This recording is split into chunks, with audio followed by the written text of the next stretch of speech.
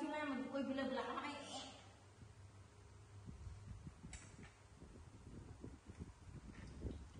quay này ừ. Mày kéo chè hàng